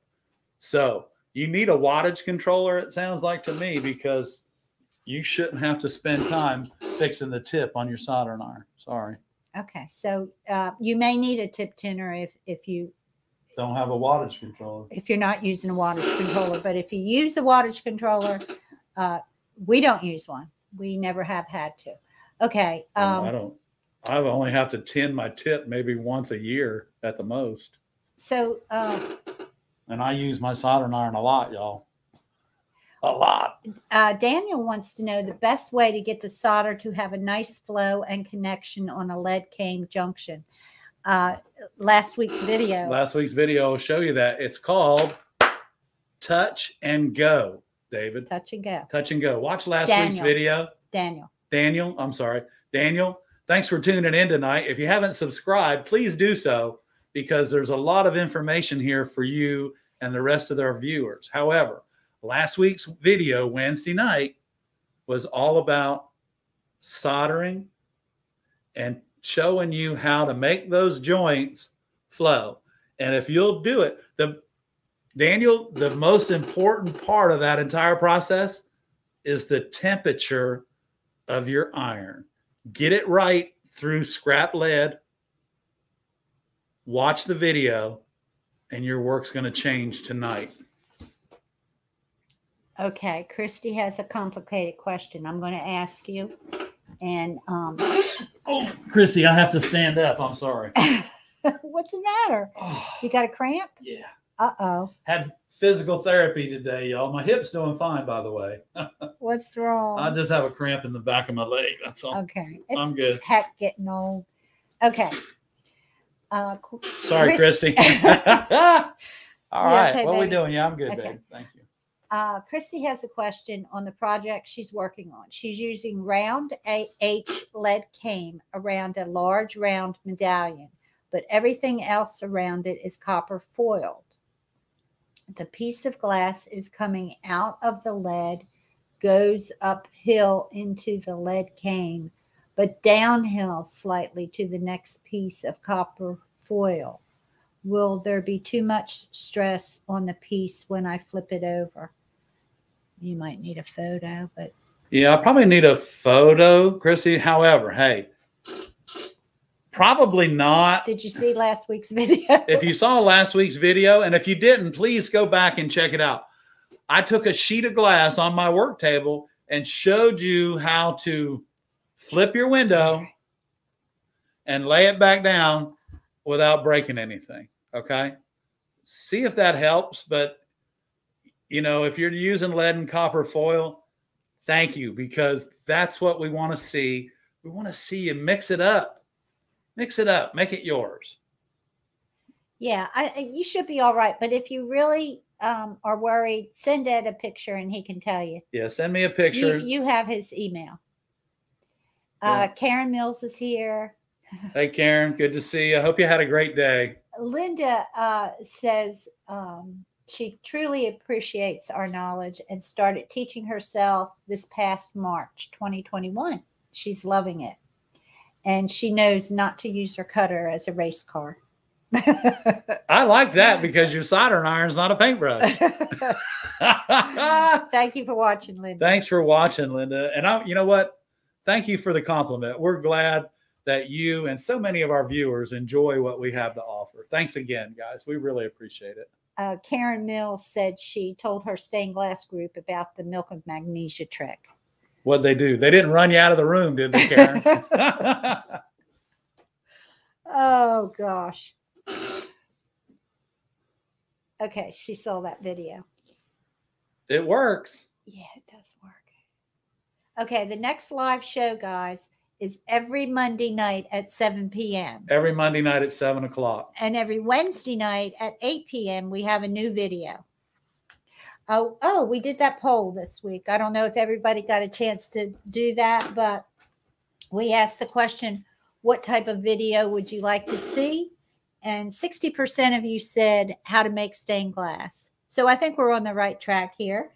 16% said how to start a craft studio.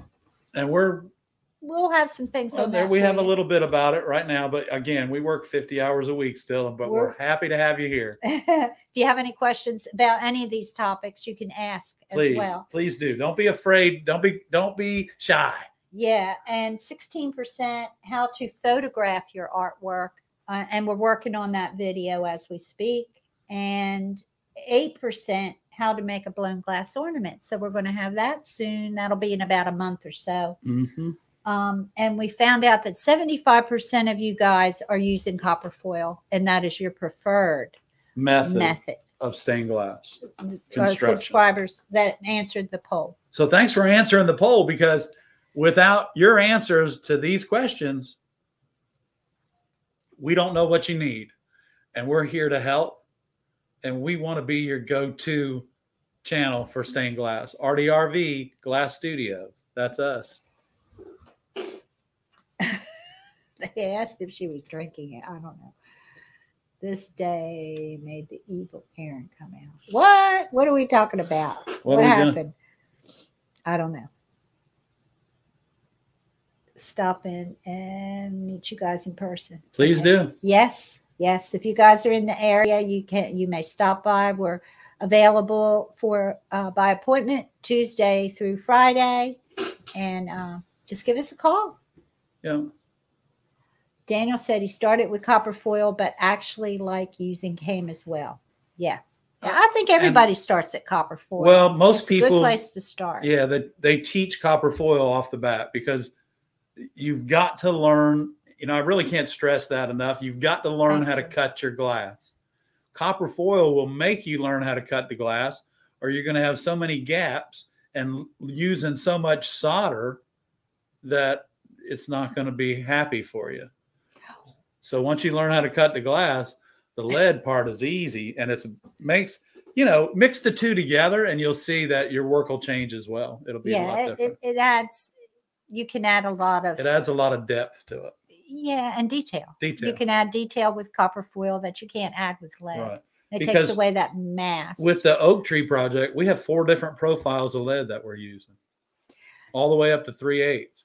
And that three eighths, y'all, that three eighths looks like another tree part of the tree branch within the tree itself. So it's working out exactly how we had planned for it to work out, right, Barb? Yeah. Okay. Uh, Karen uh, said that this day made the evil Karen come out. I don't know what you're talking about, but I'm glad I wasn't there to see it. um, let's see. Or maybe, I don't know. The evil Karen. maybe- I can't imagine you being evil, Karen. Okay. I can't either because with what you do for a living, hon, you got to keep your stuff together. on the grinding oh, to keep it from sticking when you need to. Okay. Okay. You're answering that question for her. She wanted to know what the milk of magnesia was. Someone came in late and wanted to know what the milk of magnesia was. it's a lifesaver. Yeah, it will save. Okay. Well, it'll save you a lot of frustration. It will. Daniel said the projects he's doing is a combination, a diamond pattern with came and center medallion with copper foil method. Sounds lovely. Sounds lovely.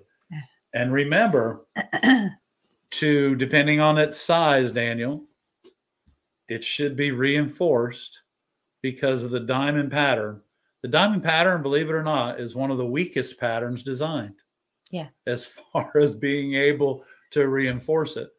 And you're always you're either going to have horizontal lines or vertical lines through the diamonds, but the diamond the diamond pattern designed for a window is by far the weakest design uh, as far as keeping everything have- in, in check. He may have.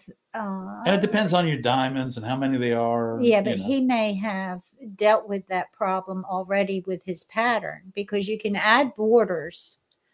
you can add borders to your diamond pattern in the right places so that you can then put your rebar in and you don't see it in the diamond pattern. So you you know you put those borders in in the right places and so that your rebar crosses this not the center of the diamond, but the tip of the diamond. Mm-hmm. You don't want it to cross the center of the diamond. But you know what? Those things with reinforcing should be decided in the beginning rather than the end. And the fact that reinforcing, as much as some customers prefer not to have it, reinforcing your window has to coincide with the design. They have to work together.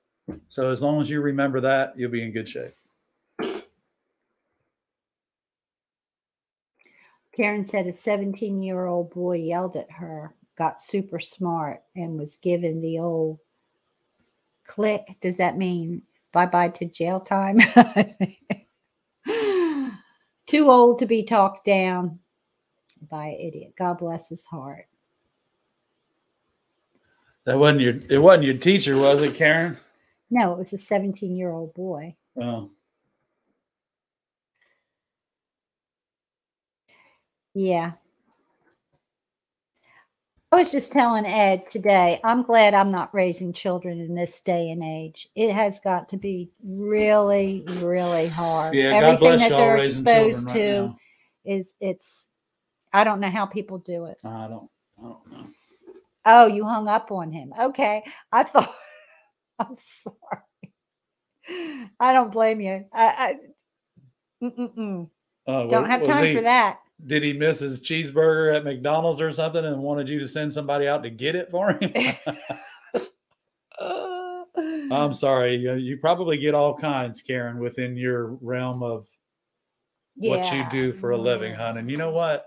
God bless you. Thank you for what you do. And I'm sure there's a lot of people out there that appreciate you being there on that phone, hon. So thanks again for what you do. Yes. We appreciate it. Yeah. Hung up on him. Yeah, as you should. You don't need to put up with that crap. That's right. You got a job. That phone could have been on the another phone could have been ringing. And you might have missed something that you had to grab. So you had to grab him by the neck. Don't have time for that. I don't have time for that. Well, thank you, Karen. We look forward to doing this as well. Yeah, we do. We wish we could stay on longer. I think we're people are. Oh, how can I find out how much to charge for my work since I'm just starting out? What would you suggest, guys? Ballpark. Um, you can be charging anywhere between. Well, I'm not going. I can't really say what. Uh, Yeah, yeah. What you have to do there, there's a formula. Dan, is it Daniel? uh, Karen. let's see. This is Ray. Oh, hey Ray. Ray, there's a there's really a formula. There's a formula that we came up with 36 years ago. We took we took our overhead, which is our lights, our rent, those things. Okay, that's our overhead, payroll, and then and actually you can pull payroll out of there. You need to just see how much money you need to make to survive. If it's a hobby, okay, it's a if it's a hobby, you sure you don't want to lowball the stained glass shop that's doing it for a living down the street. Okay. So you want to, I mean, if he's charging $120 a square foot, you don't want to do it for 60. You know why? Because there's a reason he's charging $120 a square foot. Now, I have friends in Ottawa, Canada that get $450 a square foot. But you've got to remember when you get a sheet of glass shipped over to Canada from here, you're going to pay two or three hundred dollars for that sheet of glass. So you have to take, you know, your time is worth something. So what you want to look at is your basic bills every month. Whatever what it takes. what that is.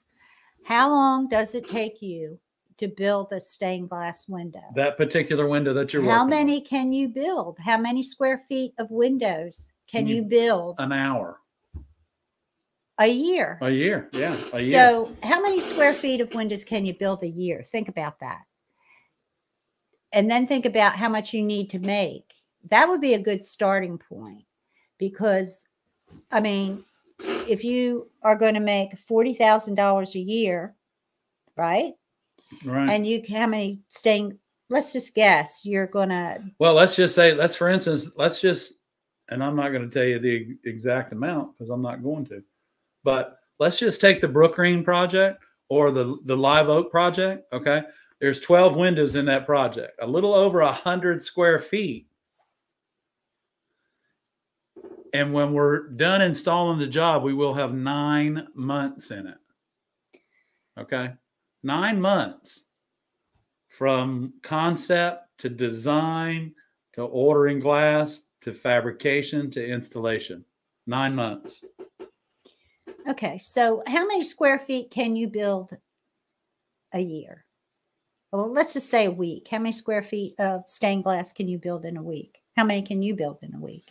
I build about,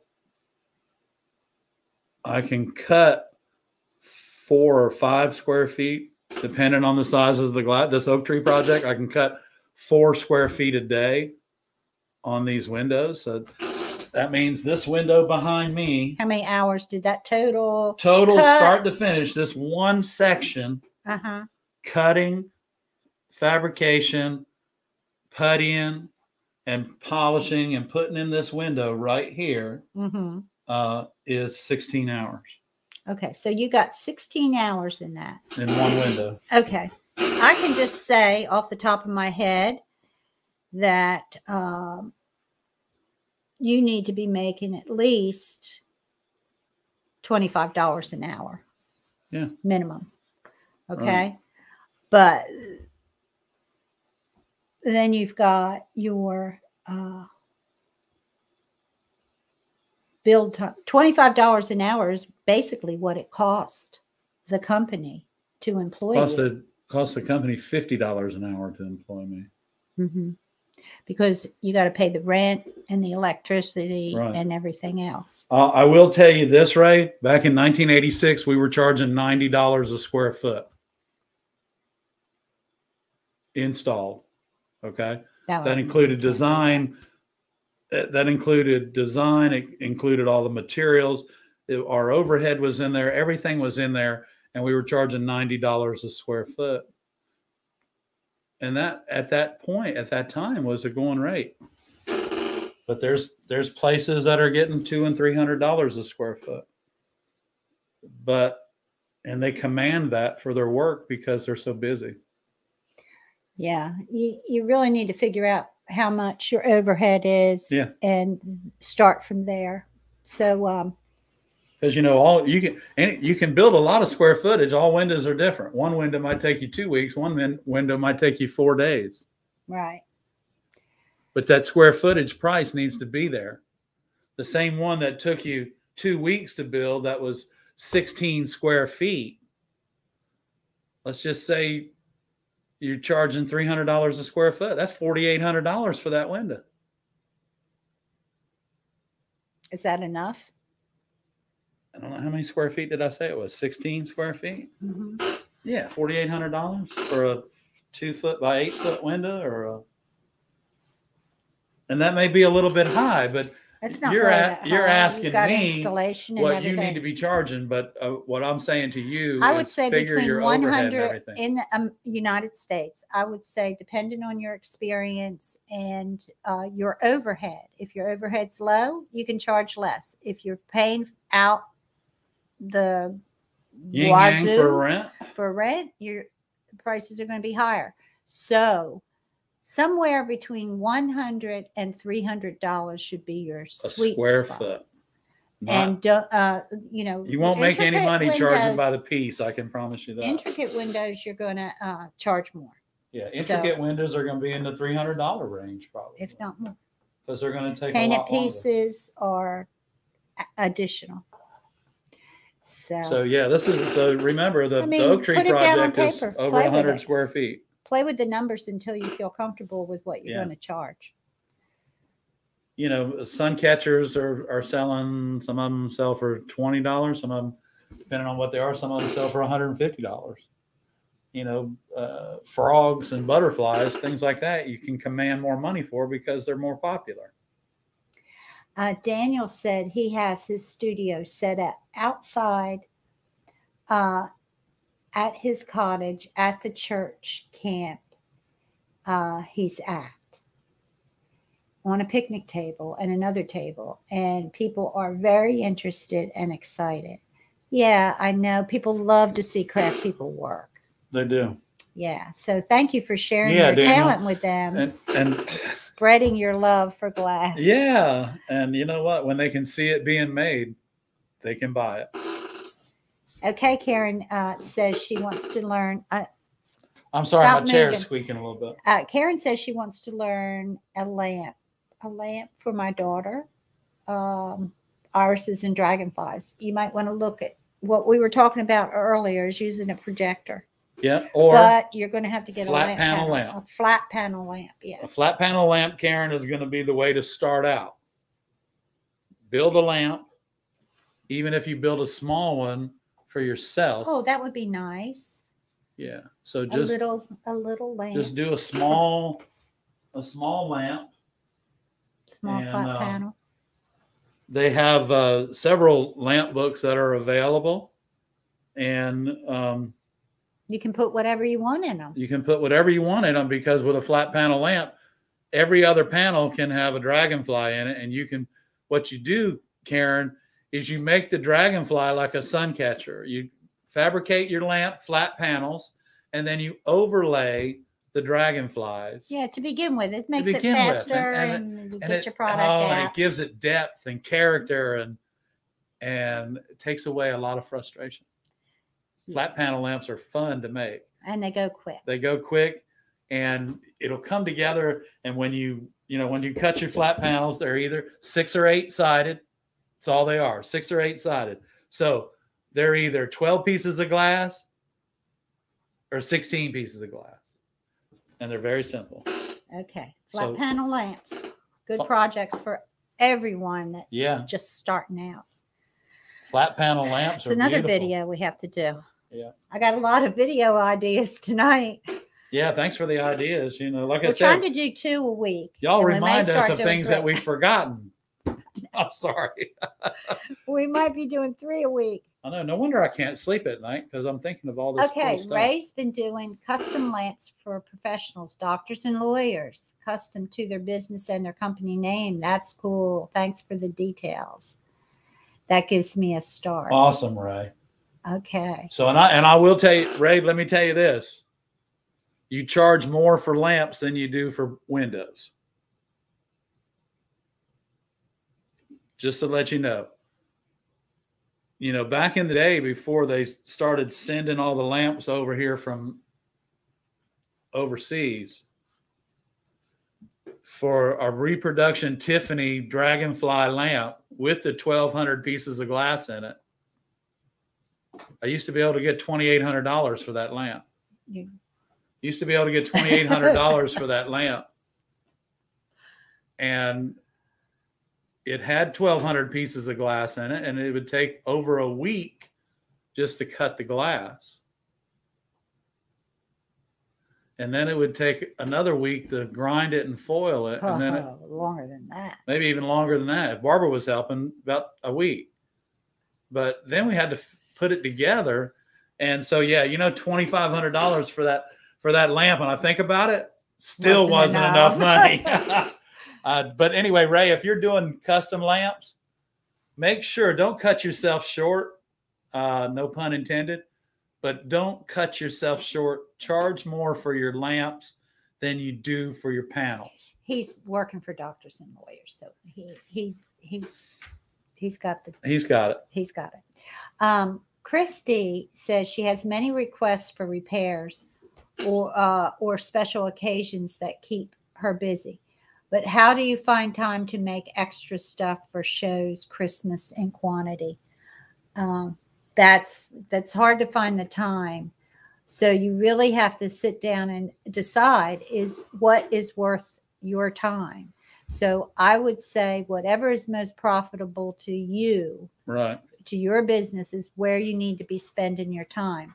If making Christmas um, For shows, catchers for shows is going to bring you a lot of profit, I would say do them 10 at a time. do a bunch of them at a time. Get 10 at a time when you're doing them. Cut And out 10, foil 10. Find you somebody that you can pay $10 an hour to grind and foil for you. but figure that in your cost. Yeah, figure that in your cost. But if you teach them how to grind and foil correctly, they can do it pretty quick. And don't send them home to do the work because then you can't watch them Watch them. work. Well, if they're good, you don't need to worry. That's right. If they're it. good, don't worry about it. If they're good, pay them up. $15 an hour and they'll do it right. Okay. Pay them by the piece. Pay them piecework. Yeah. Yeah. Barbara's dad always used to say, don't pay them by the hour, make them work. Pay them by the piece. Well, they make more money Yeah, that way. well, they they're do once really they figured it out. They're really good and they're fast. They make you both they money. make they make you both money. That's right. okay. Uh, Magali wants to do a lamp, um, but she wants to do cylinder shapes. Uh, how would you do a mold for that? Um, You wouldn't. Yeah. You, you, What you want to do is do one inch strips, Magali, or half inch strips, or three quarter inch strips. So what you do is you take take the circumference.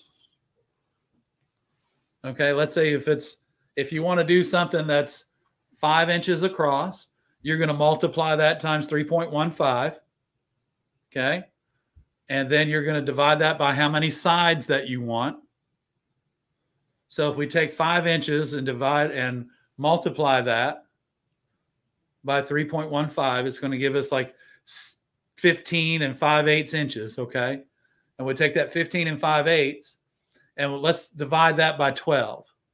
So each one of our strips are going to be an inch and a eighth, inch and three sixteenths diameter. And them together is going to make a cylinder. So you can make the cylinder as large or as narrow as you like, Magali by changing the depth the distance of your pieces you can cut half inch strips it's a very simple multiplication problem and division and once you do it you'll have your own form that nobody has okay. You'll have to demonstrate that in a video. oh come on yeah. Okay. But as far as putting a design in it, my suggestion, Magali, on your cylinder lampshades, or like if you're going to put put them like over candles, as a hurricane lamp, you can put your design in that lamp. Okay, but you got to remember now you're bending it in a circle. But overlays will be much prettier on a lamp that style. Okay, do one and check it out put your design in it, which is going to be very difficult because the pieces are so narrow and you're going around in a circle. And to keep you from going around in circles, Magali, just do a round one first with nothing in it and see what it comes out. Do one out of like uh, lamp beige or W58D um, and do uh, 16 three quarter inch wide strips, and that should produce you about a six inch circle. So 16 what width? three quarter, Karen, is that what you were asking? three quarter inch. I Three mean, quarter inch. So it Can't the- you can't you just use a cylinder as your template and just Well, you have to you have to do the math on it though, because you have to know Oh. how wide each one of those pieces is going to be to form that cylinder.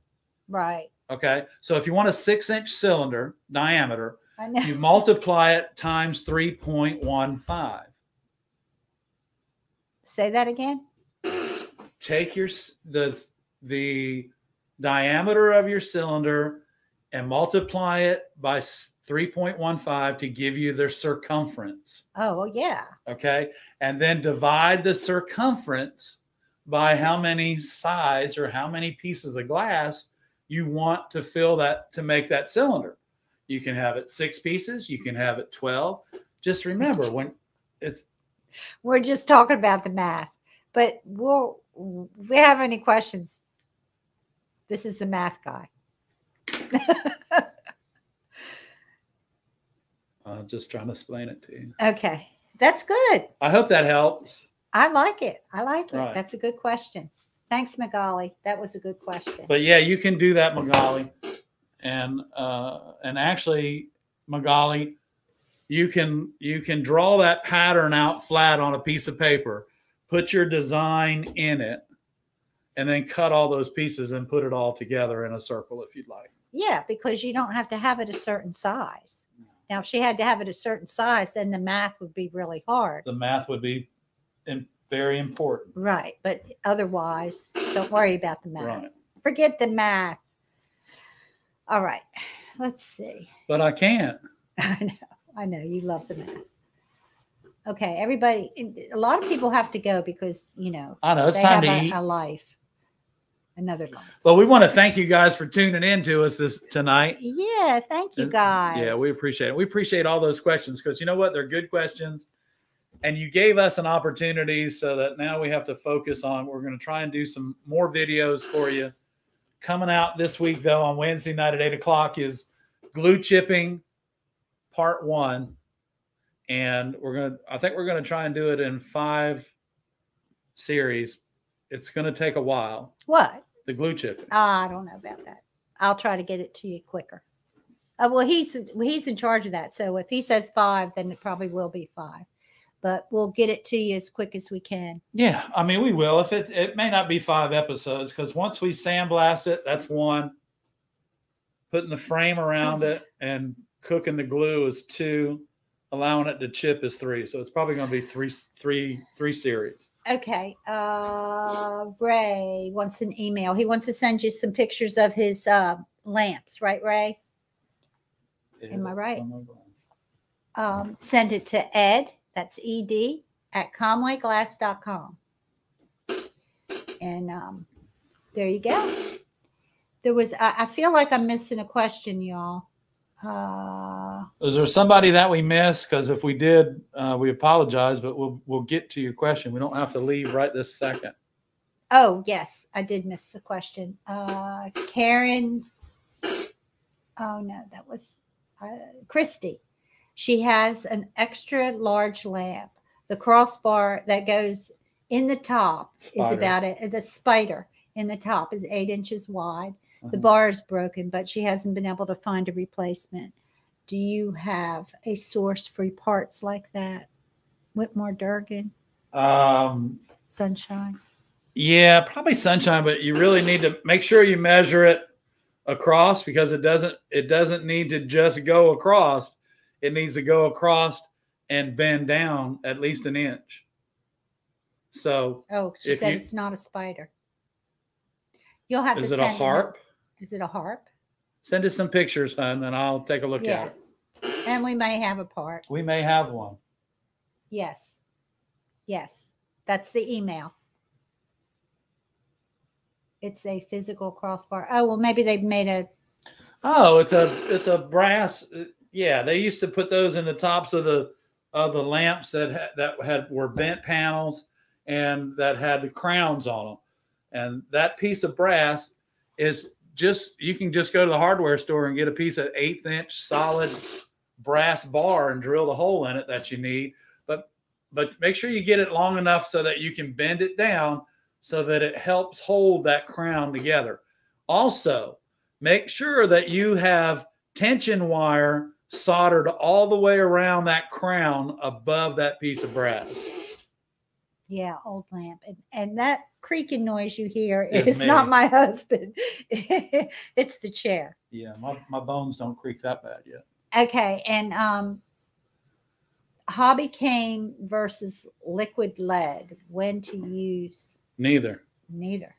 Well, know. liquid lead definitely not anywhere on anything. And what is hobby came? Hobby came just goes Oh, around the for outside, edge. Okay. So do not what it- use liquid lead for anything because it's not liquid lead.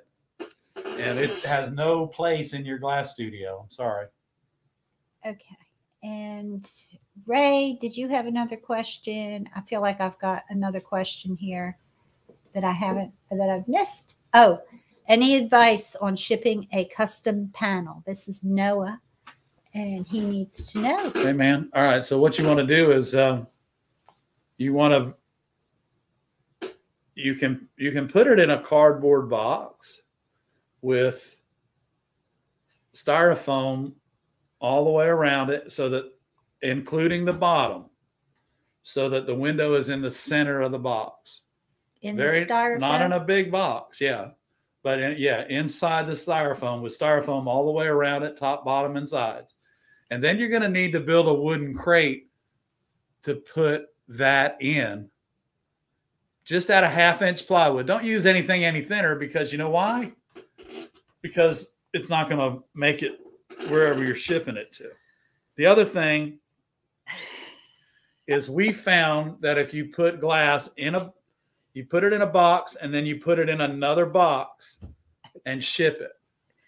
Stained glass windows have to be have to stay vertical in throughout the shipping process. So you're going to have to palletize your window. You're going to have to put it in a box put it in a crate palletize it and strap it to the pallet vertical.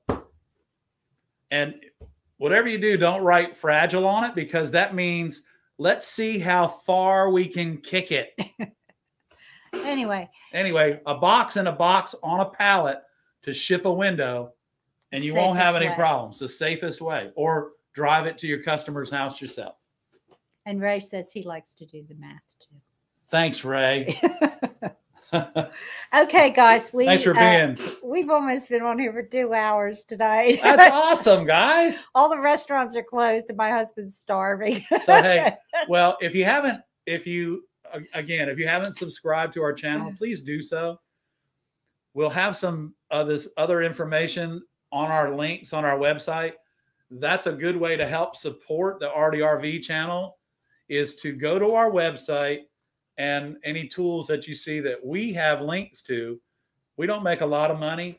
You know, it might only be 20 cents, but the fact that you purchased it off our website says thank you. And the fact that you went to our website tells us that you care.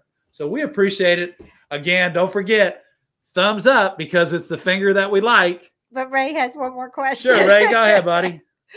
what he said, uh, he said uh, circumference times 3.14. And then what was the last part? Divided by how many panels you want in that circumference. So times 3.14 divided by if you want 12 sides, 12 divided by 30 if you want 30 sides. You got it. Oh, Karen's got leftovers. I wish. I wish I was that close. I Okay. know. I wish we could come to the top of the holler. Okay. Magali, she's going to re- replay it. And uh, hopefully he said the same thing. I And- did. Okay. I did. and yeah. we're not confused. It's just just 'cause that I'm it's- it's- It's the No, I got it multiplication of the circumference. That's I all know. it is. I know. It's all Which is coming back to me, diameter duh. divided. It's the diameter multiplied by 3.14 gives you their Yeah, the circumference. that's right. Okay, guys. We love you. We love you guys. We're going to have to end the broadcast. And uh, thank you so much for coming. Don't forget to watch Wednesday night at eight o'clock. Glue Wednesday night, chipping, part Glue one. chipping. Yay. We'll see y'all Wednesday. Good night, everybody. Stay safe. Good night. Thanks for tuning in.